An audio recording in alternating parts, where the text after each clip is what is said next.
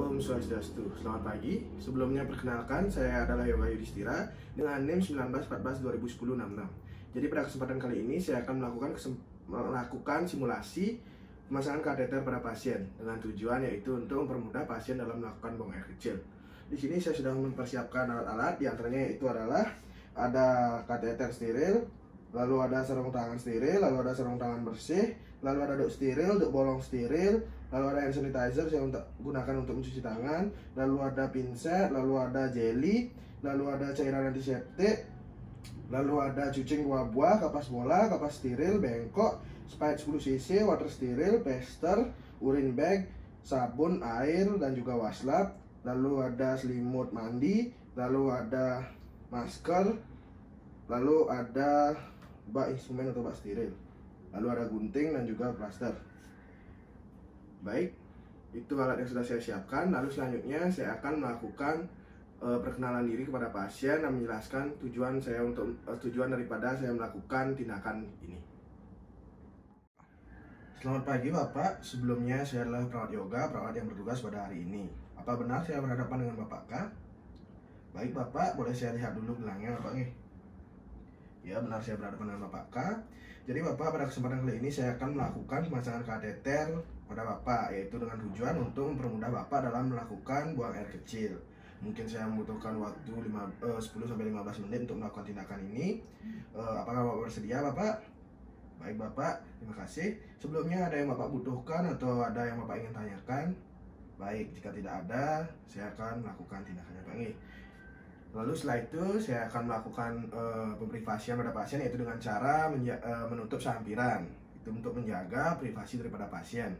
Lalu saya akan meminta anggota keluarga pasien yang masih berada di dalam ruangan untuk keluar dari dalam ruangan terlebih dahulu. Baik, selanjutnya saya akan mendekatkan alat-alat terlebih dahulu.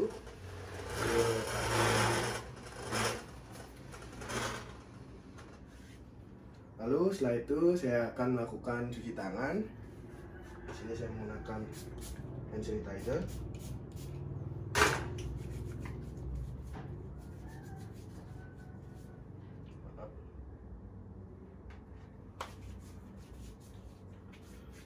Terus selanjutnya menggunakan masker.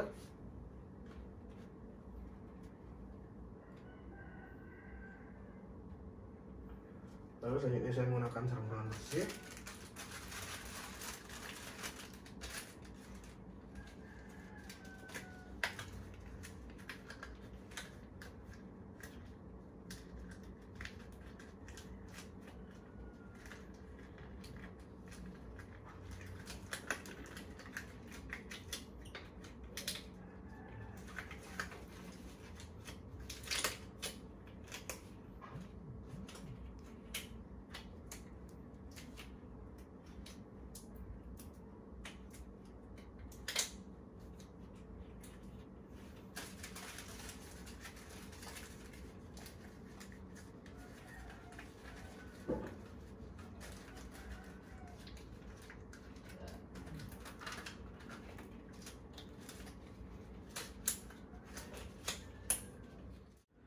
Setelah menggunakan handphone bersih, selanjutnya saya akan membantu pasien untuk berada dalam posisi supin, yaitu kaki lurus dan agak sedikit terbuka di bagian pahanya.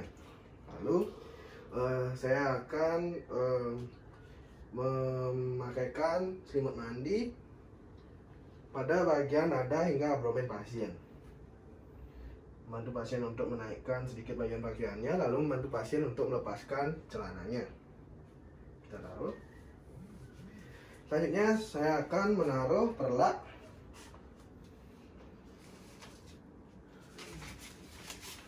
Ini saya menggunakan gambar perlak.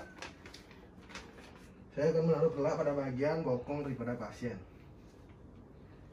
Lalu setelah itu saya akan membersihkan bagian genitalia hingga perineal pasien. Menggunakan awaslab di sini hanya perumpamaan saja saya akan bersihkan. Di sini waslapnya sudah berisi air dan juga sabun. Lalu lalu selanjutnya saya akan bersihkan dan keringkan dengan menggunakan handuk.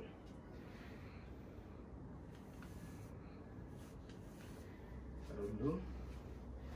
Setelah itu saya akan melepaskan handscoon bersih saya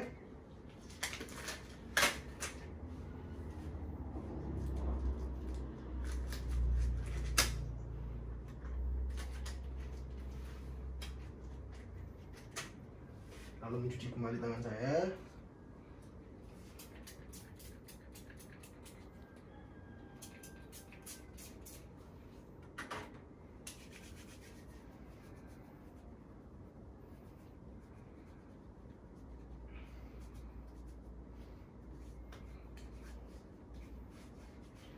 Setelah itu saya akan membuka bungkus daripada urin bag. Di sini saya menggunakan kamar. Buka bungkusnya dengan mempertahankan kesterilannya lalu meletakkannya pada bak instrumen atau bak steril. Lalu selanjutnya di sini ada kateter. Di sini saya menggunakan gambar atau perumpamaannya. Di sini kita buka bungkusnya juga, lalu dengan pertahankan sterilannya agar tidak hilang sterilnya kita meletakkannya lalu langsung langsung lalu kita langsung meletakkannya pada bak steril. Setelah itu, saya akan mengambil khas steril dengan menggunakan korentang. Di sini, saya menggunakan hanya gambar. Namun sebelum melakukan itu, saya uh, membuka terlebih dahulu untuk set peralatannya.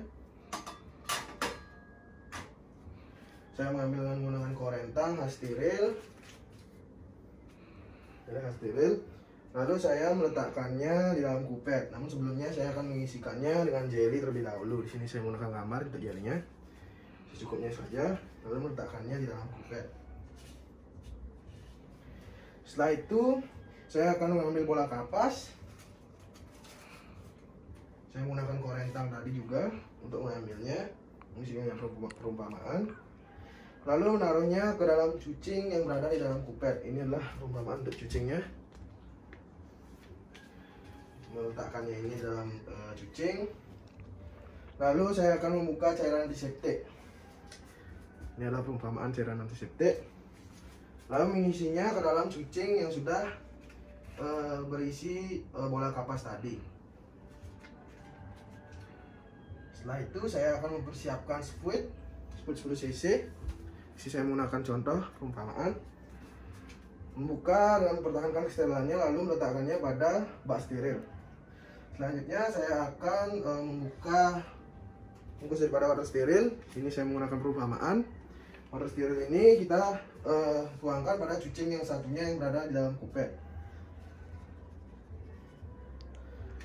Baik, sudah. Lalu selanjutnya saya akan meletakkan bengkok. Sini saya menggunakan perumpamaan saja, bengkok yaitu di antara bagian dari kaki klien atau pasien. Lalu setelah itu saya akan melakukan cuci tangan lagi.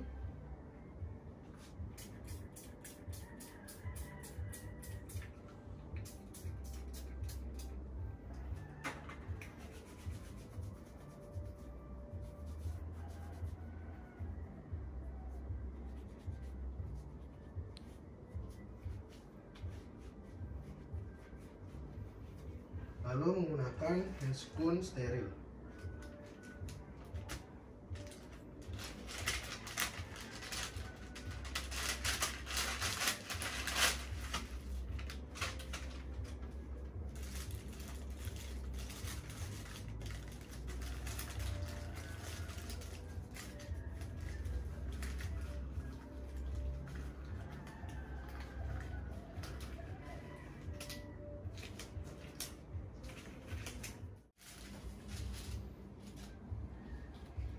Setelah menggunakan hand steril, saya akan uh, menggunakan 10 cc untuk mengambil cairan water steril yang tadi sudah saya tuangkan ke dalam cuci.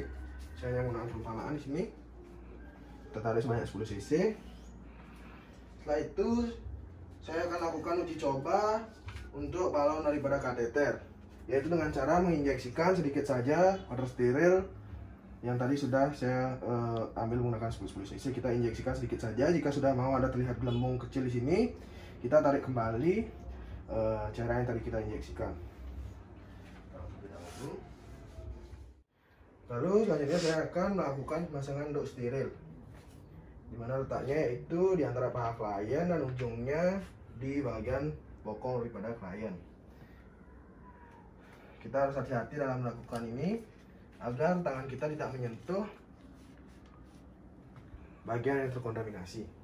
Selanjutnya saya akan melakukan pemasangan untuk yang berisi lubang untuk steril tentunya. Ini saya menggunakan contoh saja atau gambar perumpamaan. Kita memasangnya di atas dari bagian perineum pasien. Ini. Setelah itu kita meletakkan pipet steril di antara paha klien. Dengan tangan non dominan, tarik prepusium pasien di bagian yang tidak disirkumsisi. Lalu pegang penis tepat pada batangnya. E, tarik meatus uretra dengan menggunakan jari telunjuk dan juga ibu jari. Pertahankan posisi ini selama prosedur. Lalu dengan tangan dominan, ambil pinset.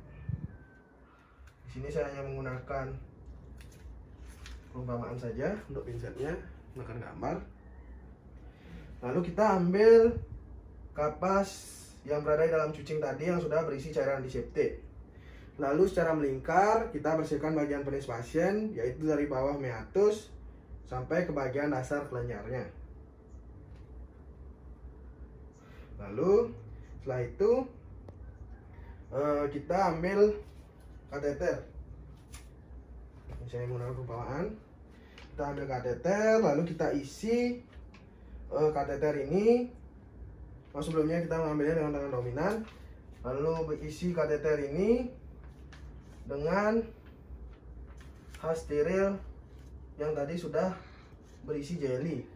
Kita oleskan jelly ke dalam eh, ke bagian daripada ujung kateter. Lalu dengan tangan dominan pegang eh, pangkal daripada kateter ini dengan longgar dan melingkar di bagian tapak tangan. Lalu semari masukkan kateter, kita minta pasien untuk melakukan relaksasi seperti saat melakukan perkemihan. Kita akan masukkan untuk pria karena di sini pasiennya pria. Eh, kita masukkan dengan kedalaman sekitar 17,5 hingga 22 cm. Atau hingga pasiennya mengeluarkan uh, cairan urin. Lalu setelah itu kita uh, lepaskan bagian labianya yang tadi lalu kita pegang uh, kateter dengan tangan non dominan dengan aman. Setelah itu dengan tangan dominan kita ambil spout yang tadi sudah berisi water steril lalu kita injeksikan water steril ini ke bagian daripada balon yang berada di kateter. Kita injeksikan setelah kita injeksikan uh, kita coba untuk melakukan penarikan secara lembut untuk memastikan terjadinya penahanan atau uh, agar tidak uh, ada yang longgar, memastikan agar uh, kateternya sudah tidak longgar. Setelah itu kita uh, lepaskan untuk lubang steril yang berada di atas daripada perineum pasien dengan cara masukkannya seperti ini bagian dari kateter. Tekan dulu. Lalu setelah itu kita sambungkan pangkal daripada kateter ke urin bag. Kita sambungkan. Setelah kita sambungkan, kita lakukan fiksasi dengan cara menempel uh, uh, bagian daripada uh, kateter tadi dengan menggunakan plaster. Dalam melakukan fiksasi, jangan terlalu ketat dengan tujuan yaitu pasien agar bisa bergerak uh, dengan nyaman agar tidak merasakan sakit ketika uh, pasien melakukan pergerakan-pergerakan. Kita melakukan fiksasi pada bagian yang tidak terlalu berbulu dan juga melakukan fiksasinya tergantung ke mana kita akan mengandung uh, urin baiknya. Jika kita mengandung ke bagian kanan, kita memfiksasi paha bagian kanan pasien. Jika mengandung urin baik ke bagian kiri, kita melakukan fiksasi ke bagian uh, paha kiri pasien. Lalu setelah itu kita pastikan di kateter maupun urin bag ini tidak ada terjadinya sumbatan. Lalu setelah itu kita akan merapikan alat-alat dan meletakkannya pada tempatnya.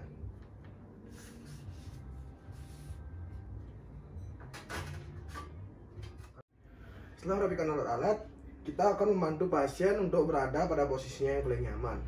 Prinsip apa? Saya bantu dulu untuk Bapak berada dalam posisinya nyaman, Pak Nge. Gimana Bapak? Sudah nyaman? Baik Bapak jika sudah nyaman, Lalu selanjutnya kita akan melakukan pelepasan APD atau uh, handscoon dan juga masker, lalu melakukan cuci tangan kembali. Lalu setelah itu kita akan memberitahukan kepada pasien bahwa kita sudah selesai melakukan tindakan. Baik Bapak, saya sudah selesai melakukan tindakan pemasangan kateter kepada Bapak. Bagaimana perasaannya Bapak? Nyaman? Nyaman Pak Nge? Baik Bapak, nanti untuk bladernya atau ring bagnya ini ke jangan sampai nanti uh, berada dalam posisi yang lebih tinggi daripada posisi Bapak Pak Nge. Baik Bapak, terima kasih.